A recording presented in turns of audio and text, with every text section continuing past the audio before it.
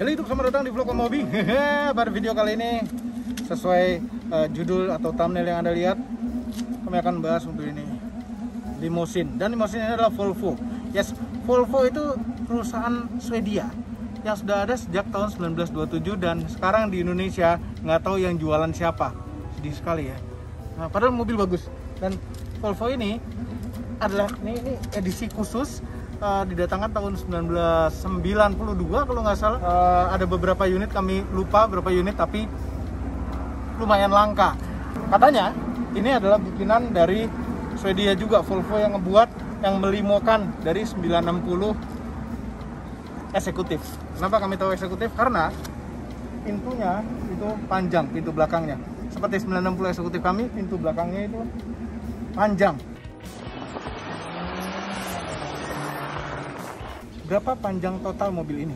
Ya kami tidak menemukan spesifikasinya di internet jadi kami ukur pakai handphone dan ini dia.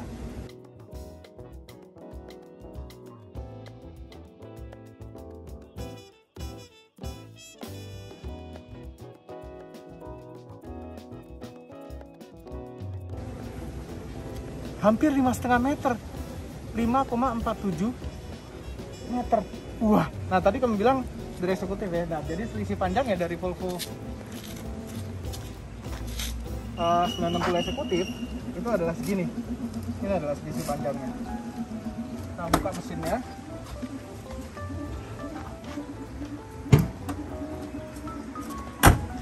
Karena yang 960 yang yang yang dulu-dulu awal-awal itu seperti di 740 turbo kami dia tuh potongan kap mesinnya tuh di sini dari sini ke sana kap mesinnya. Kalau ini full sampai belakang sini.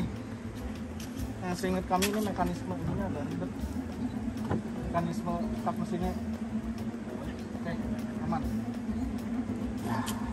Ini masih bagus. Hebat dirawat banget. Ya. mesinnya adalah 2300 cc turbo. Yes turbo intercooler. Ini adalah turbonya. Ya kemudian udara bertekanan masuk ke sini dan masuk ke intercooler. Intercooler baru masuk ke intake. Ah, uh, otomatis 4 speed. Tenaganya kami lupa berapa. Kalau nggak salah nggak nyampe 200 horsepower ya 160 apa 180 gitu. Hmm. ya kecil tapi uh, lumayan lah. Daripada tanpa turbo itu dia pasti jauh lebih kecil lagi. Kan sini rapi loh. Maksudnya masih, masih rapi kami hafal isi isi ruang mesin Volvo itu. Yang berarti kalau ini basisnya adalah eksekutif.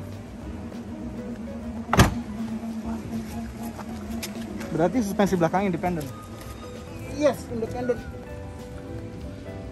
ya yeah, independen independen kalau dulu 740 turbo kami dan 960 yang masih awal-awal tuh. Kalau nggak salah ya kalau nggak salah masih solid axle bagasinya standar Volvo 960 dan ini bagasinya juga masih rapi walaupun kotor-kotor. Entah kenapa Volvo Volvo 960 740 itu bagasinya kotor-kotor begini. Dan kami tahu penyebabnya kotor ini apa. Biasanya kalau misalnya Volvo masuk bengkel barang-barang yang habis dicopot itu dimetaruh bagasi. Dan barang-barang itu kotor. Jadi kotor begini deh. Yang lega ya bagasinya. Hmm, tangan naik Volvo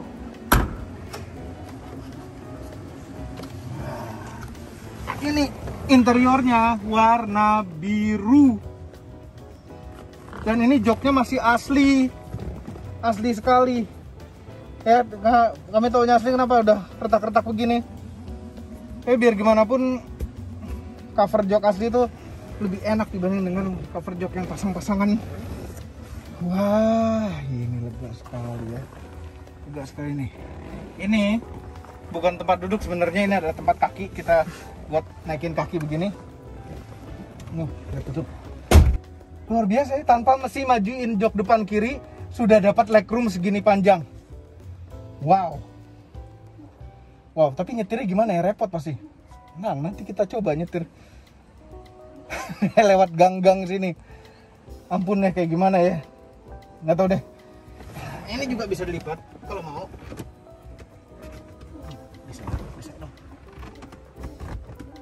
dorong. Asal dorong. Naik ke atas nih ininya. Coba yang ini. oh ini antar begitu rapih ini nggak tahu colokan apaan tapi Juga nih footrest kan? ya tres jadi kaki bisa taruh sini juga di bawah sini sayang joknya itu nggak bisa di setel disenderin lagi gitu nggak bisa. Tapi ini posisinya udah sangat rebah sekali joknya dibanding dengan Volvo Volvo biasa. Luar biasa. Leganya asik banget ini limo ya armrest. Armrest dikunci dikunciin buka gini. Ada tempat dalamnya. Dan di belakang nggak ada charger nggak ada apa ya zaman dulu ya Eh, tapi ada asbak. Nggak ada charger tapi ada asbak. Power window terus off sheet barnya pegangannya. Apa namanya off sheet bar ya? itu ada dua di sini juga ada. Luar biasa. Dan ini tempat lampu lampu kabinnya di situ juga ada. Tapi udah bolong.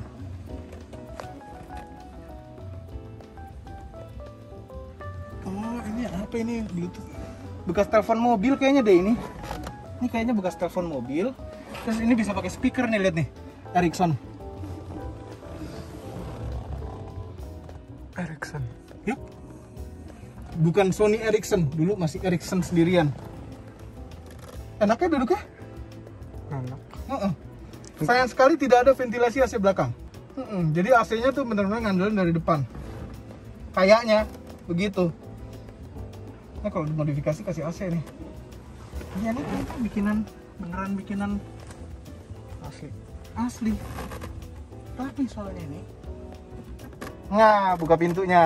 Nih, buka pintunya, handle-nya itu sini ya. Kelihatan nggak? Coba deketin.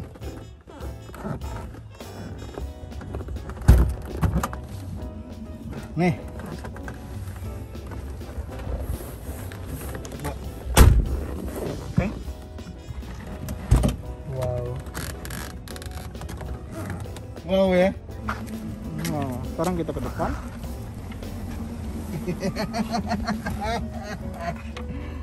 Ah.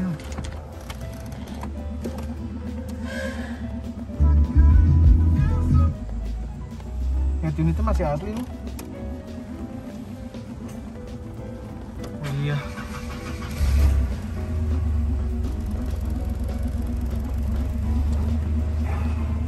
Ada getaran pas silindernya. Ini kenapa ada ini tambahan ya? Jangan ada AC belakang tambahan. Coba. Kita bikin tengahnya. Mungkin ini nggak jalan. Nggak kalau dinyalain jadi kedip-kedip. Ini walaupun besar belum airbag. Nah ini di sebelah kanan. Biasanya lampu, dimmer, eh, fog lamp, terus eh, apa ini buat nyetel jam, ini buat naik turunin antena, hazard, pemanas spion dan kaca depan. Eh sorry belakang. Eh, ini kontrol AC yang ini tambahan nggak tahu gimana ceritanya ini komunikasinya. Terus ini head unit masih aslinya dia. Nah di bawah ini ini double din tapi tapi dua din eh, sat- satu din satu din terpisah. Yang atas ini head unitnya, yang bawah ini adalah controller untuk CD changer. Nah jadi untuk milih CD-nya, ini untuk next dan previous track, ini untuk scan, ini untuk play. Ya. Ini ada tempat-tempat, ini ada uh, 12 volt power outlet, shifter dengan ini adalah kalau dulu-dulu tuh orang tuh bilangnya ini tuh apa tombol turbonya, turbonya tuh ada di shifternya ini. Salah, ini adalah overdrive. Ya, jadi kalau kita udah di drive, kita pencet ini, itu berarti ya kan ada panah tuh panahnya ke arah turbonya soalnya. Jadi orang nganggap itu turbonya enggak. Ini adalah overdrive, overdrive on and off. Ya untuk gigi 3 dan gigi 4 lah intinya. Rem tangan otot biasa. Terus tempat-tempat di sini.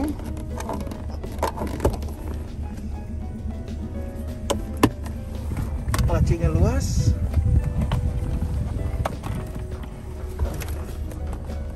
Di door trim ada control power window dan ini individual satu-satu untuk electric mirrornya. ada tempat-tempat di bawah sini dan ini dulu eh, waktu tu- 740 turbo kami pakai untuk buat naruh handphone komunikator pas ini gedenya nah, ah, kalau yang eh, electric seat di sinilah tempat tombol-tombol electric seatnya harusnya kalau yang nggak electric seat seperti ini ini adalah kosong seperti ini jadi tempat-tempat biasa ya untuk naik turunin jok ya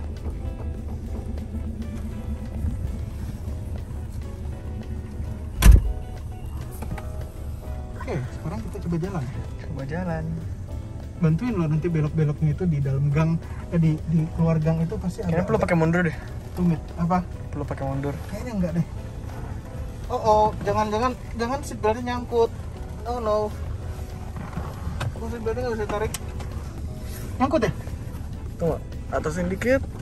Oke, nyangkut. ini walaupun ada udah ada dividernya ya antara depan sama belakang tetap kalau dimundurin habis sampai mentok dividernya itu nggak nyampe kaki hampir nggak nyampe. Tapi masih ada ruangan artinya untuk drivernya. Volvo itu dari lahir tahun 1927 itu kampanyenya itu safety safety ini mobil lebih safe Sa- tapi kok lama-lama sih beltnya rusak begini ya lampu remnya ada yang mati kalau diinjek rem nyala.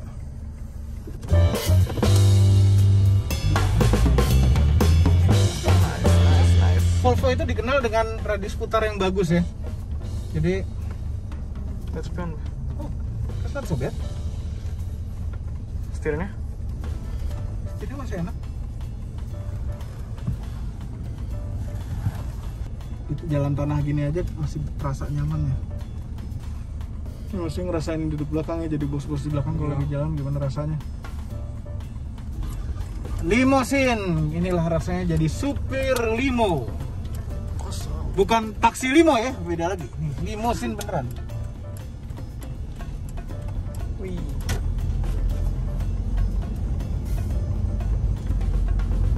Ini masih sehat sekali mobil. Remnya juga masih enak. Walaupun agak dalam ya. Nyaman ya. Mhm. Oke, kita mau belok kiri. Ini agak tajam. Ambil kanan dulu. Ya kan? Eh, bisa ambil kanan dulu karena ini nggak mungkin kita ambilnya agak panjang jauh ke sebelah sana jadinya eh, nggak juga nggak, nggak, nggak perlu begitu-gitu amat tuh panjangnya nggak parah-parah amat ininya wheelbase nya ini masih acceptable sekali nyetirnya masalahnya mobil ini adalah pas nyari parkir nyari parkir itu mesti cari parkir yang muat panjangnya mobil ini ini turbo ya? Bentar. Speedometernya. Kenapa nggak pergi gitu ya? Speedometernya gitu tuh. Dia udah mulai lemah sahwat speedometernya. Nice. Enak. Enak, Volvo enak memang larinya. Nggak kenceng tapi selalu ngisi terus tenaganya selalu ada terus suspensinya nyaman. Lihat ke belakang deh.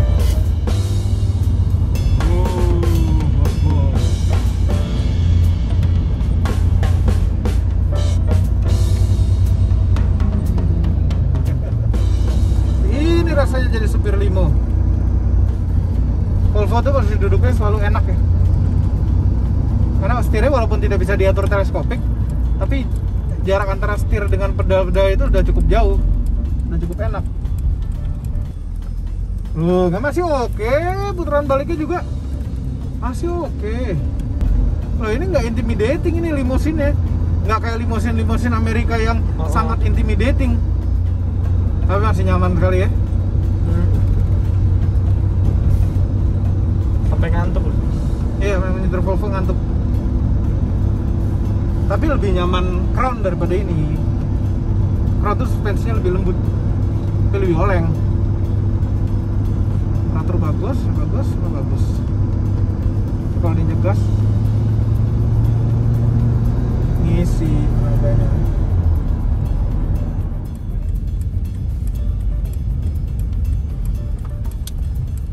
Ya, ya, ya, ya,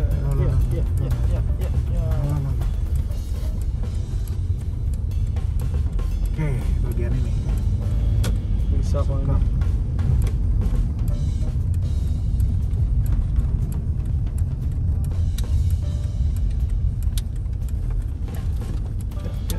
nggak parah-parah amat lah masih oke okay.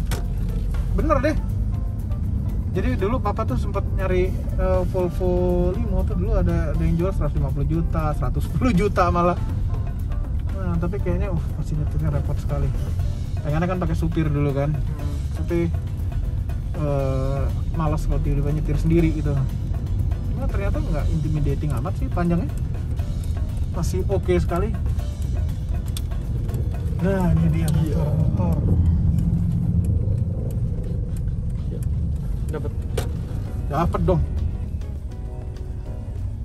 Itu udah Volvo 51 lagi. Yang itu joknya pabrik luar biasa ya koleksinya kebun vintage ya Om Yos ya terima kasih kebun vintage telah meminjamkan kami nyobain Volvo Limo luar biasa Jangan lupa tekan tombol jempol ke atas dan subscribe channel Motomobi, Omobi, dan Mes Mobil apabila belum, belum berikut dengan tombol loncengnya share video ini seluruh dunia melalui sosial media Anda dan jangan lupa follow sosial media kami yang lain.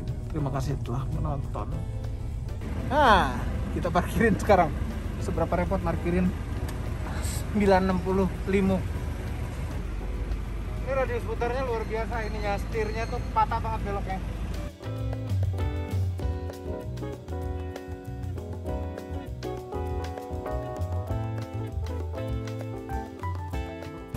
Yeah, nice. Gampang.